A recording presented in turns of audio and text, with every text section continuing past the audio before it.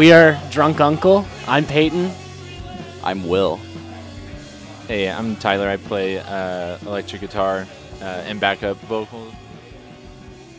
And uh, I'm Jake. I play drums. Uh, we're Drunk Uncle.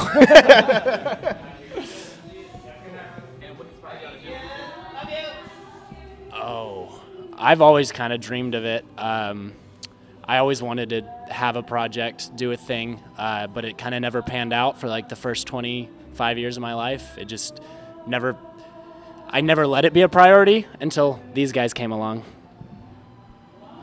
Yeah. Um, same. I mean, like I uh, grew up listening to a bunch of like, you know, 80s music and like a bunch of metal and stuff like that. And uh, my parents took me to shows uh, fairly young, you know, like middle school and stuff like that. And I always wanted to like get up on stage and play music. Um, and yeah, I couldn't like. I never figured out how to start a band, so I tried to do like solo electronic music for a while, and that like never panned out live. And then I met this guy, and then uh, well, I joined a band before that, but then I met this guy, and we started this band, and it was awesome. So yeah, same thing. I just always wanted to do it.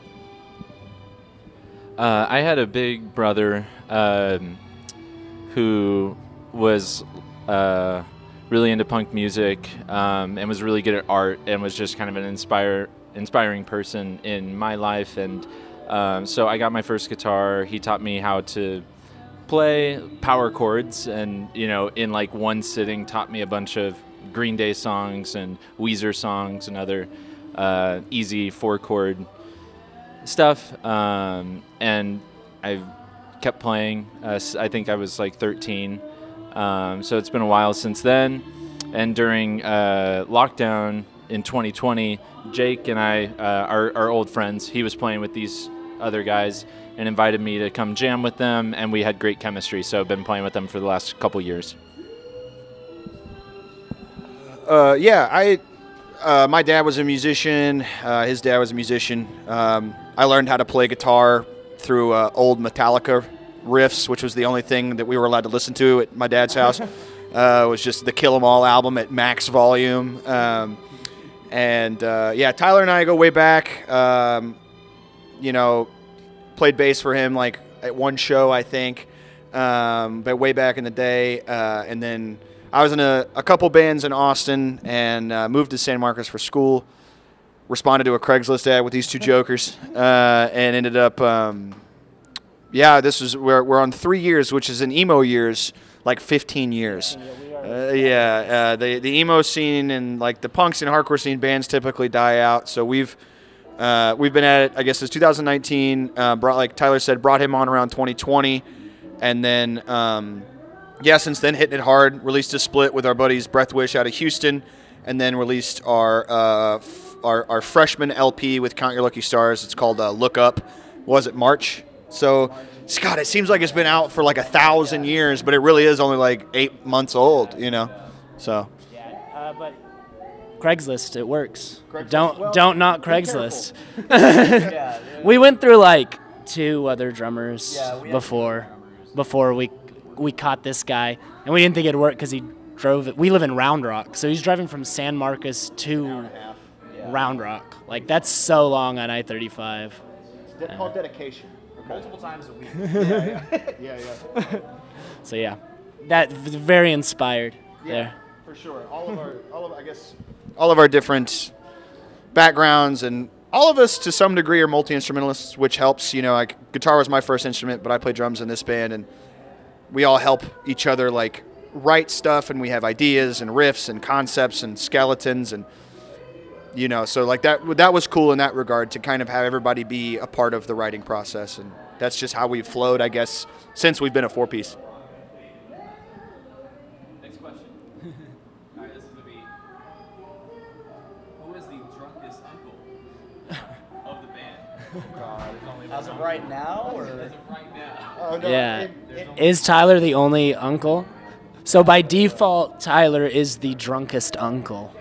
Um, But it's the drunkest member? but the drunkest member, I feel like we take turns at doing that. Like in its different stages, we'll all go hard in different ways.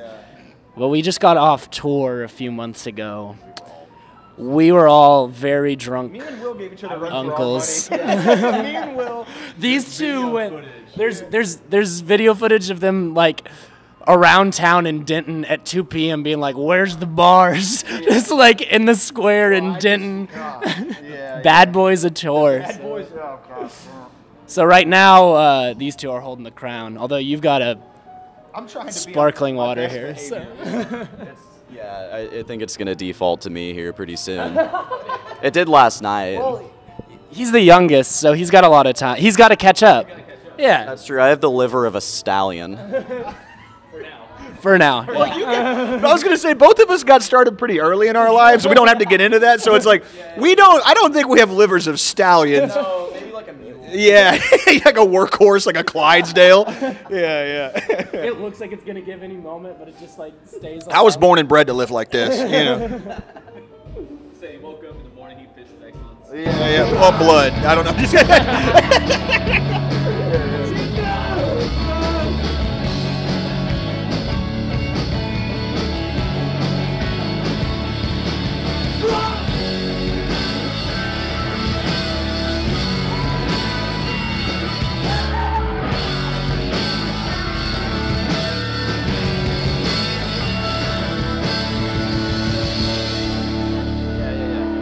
Um, yeah, so next thing coming up for Drunk Uncle, uh, we have a four-way split coming out.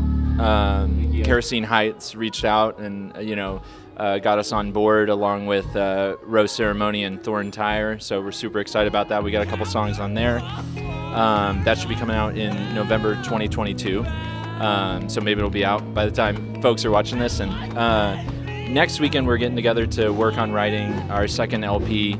Um, and so that'll probably be much later.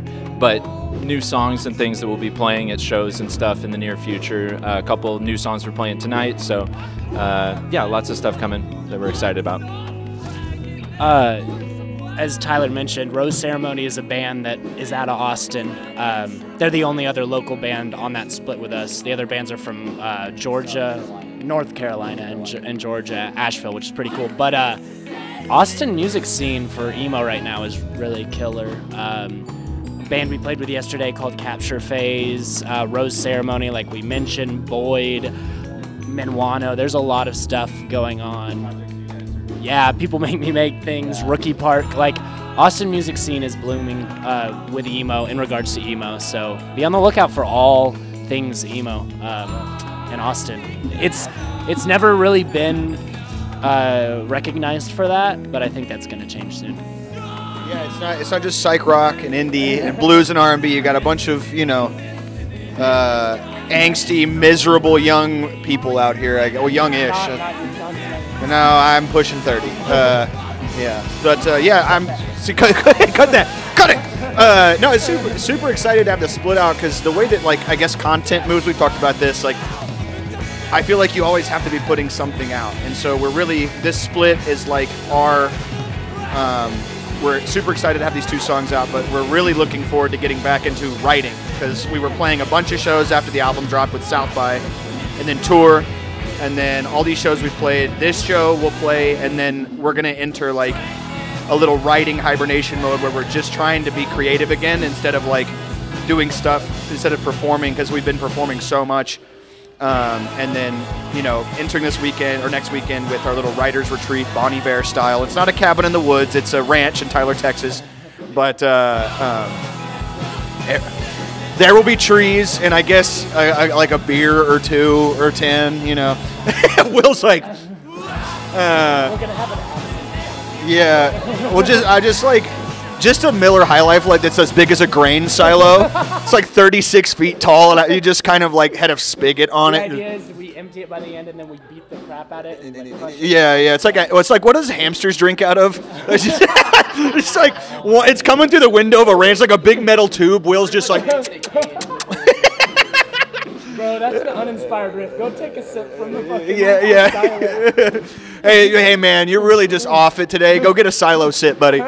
Um, yeah, so we're super excited for that. That's probably, again, going to be a little while. Um, but uh, Count Your Lucky Stars was really great. Um, it's an incredible label. If you haven't heard of it, um, please go check out. Like every band on the roster is so solid. I want to make sure to call out like Count Your Lucky Stars has the like so many different bands that are like on the cusp, the next wave of you know obviously this genre, but like anything like alternative. Like they have so many. They've got fuzz bands. They've got like you know more like indie indie pop emo pop bands, and then they've got like bands like us. So make sure to check them out. Yeah. There and if you like don't know where to start with emo, that's a good place. They've been legends. The archive, exactly. They've been putting out stuff since like 2010. Uh, like Empire Empire, which is the head of the label's band, but all Tiny Moving Parts was on there. Um, Free Throw is on there. Snowing. That's where you should really, yeah, yeah. Those like twinkly, emo screamy bands, really kind of the stuff that inspired us. Yeah. Homework assignment for anybody watching.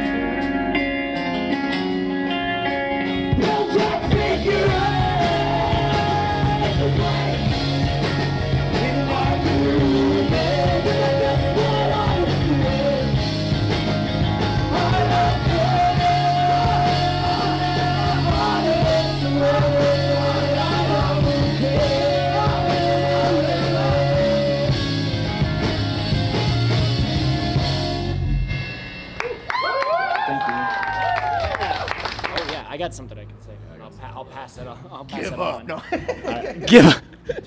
Because in this life, you can't win. no. Um, so, for anybody that like wants to do music, you are in high demand. Like making a project, we we put together a lot of shows, a lot of house shows and things, and we're always looking for acts. Like way more people can't do shows than can do shows and if you're available you're going to catch shows and you're going to be in demand and people are going to want to hear your band. Just keep doing it like don't stop um, if you be consistent don't get stuck in like this has to be perfect release the thing and go on to the next thing because you're just going to get better and better uh, by doing that uh, that's something we learned. If you listen to our first ep we love it but it's scrappy as hell. It was recorded like in the worst ways possible, but we love it, uh, and we've we've grown since then, and yeah, it it really works like that. Just don't stop.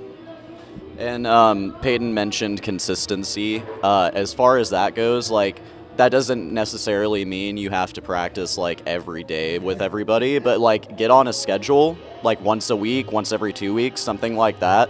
Because when it becomes a regular thing, it it's not like it's it's not like an event anymore. It's just something that you're doing, and that helps me personally, like solidify you know the songs in my mind because if I know I'm going to be practicing them at the same time every week, I can you know run through them the day before, and you know maybe I'll come up with some ideas, and then you know at practice, if we already have the songs down, we can write new stuff. So yeah, consistency is like a huge thing. I think. Like piggybacking on that, it's like integrating it into your life. So it's just part of the, like it's, uh, and I think we've, we've done this at different times where it's like try to write a song every day. Just challenge yourself with small things and don't overthink like the the finished product of that. It's just the exercise. It's the muscle of you know getting together to play on a on a regular basis, writing new things, recording new things. I, I would definitely say that as like a musician in 2022 versus other times in history, uh, knowing how to record stuff will go a long way. Because if you can, you know, even just record yourself on your phone and share it or whatever, um, it just keeps like the uh, the it's like a chain reaction you know uh, that's how we one of the ways that we write is to you know fuel each other with ideas like jake said all four of us come up with ideas and we just throw it into the pot and mix it up and um, you know so be um, uh, prolific like that just put the next thing out Yeah, also like something that I had told. I remember we were kind of like almost like bullying Joey into releasing Rookie Park stuff. like, don't be afraid to suck. Like, we've had shows where we're like, God, that was a fucking incredible show, and then we've had shows where we're like, ah, I don't want to play music. not, not I don't want to play music anymore, but like just like man, that was. And it's like we've also had practices where it's like the energy is incredible. Man, I wish we could have captured that and been playing in front of hundreds of people. And then we've had practices where it's like I don't know, everybody's tired. Like, don't be if you haven't released anything yet and you're on like the genesis of Project X, Y, or Z. Like understand that like with any creative endeavor, with any any endeavor at all, like there are going to be times, especially starting out, where like something might not sound like it does in your head. Especially if you're working with like uh, you know creatives and people you know um, not having like a ton of capital up front to start with like the best you know recordings. Don't worry about that. Like you know we're like be concerned with like are you proud of what you produced? It's not. It might not be polished. It might not be perfect. But like, don't be afraid to suck. Don't be afraid to be like, oh, that was okay, because that is a part of like you know the process of like we've had a label put us out. We have vinyl, you know, being sold like all over the place. But like we've in the genesis of this project, I was playing on a crash cymbal that was like, what was it, like a, like a 12 inch? That was just terrible. Our kit was like awful, and like over time, you invest back in the band. Over time, you have like successes and failures and things, and all of that progress isn't linear in anything, and music is a part of that. Yeah. And you're going to have these moments where you write a song and you're like, oh, this is really fucking good. Like, I'm really proud of myself for doing this. And then you're going to listen to it the next day and be like, oh, this is so mediocre. And like, I'm not a creative person. That happens to me all the time. That happens to everybody. You just have to stick with it. Like, it's, it's, always uh, trust your initial gut on it and sometimes you'll filter it out over time but um you're you being creative is good enough it really is and if you're in austin and you're making music hit us up we'll we'll do our best to like fucking promo you or record some things if you need it whatever. Like we want to be active and helping. That's that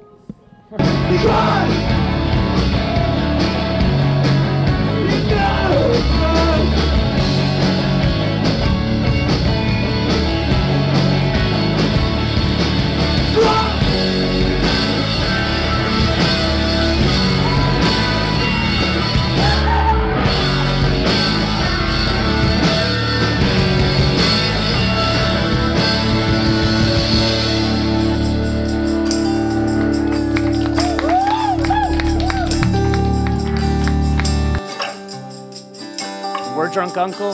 And we're next up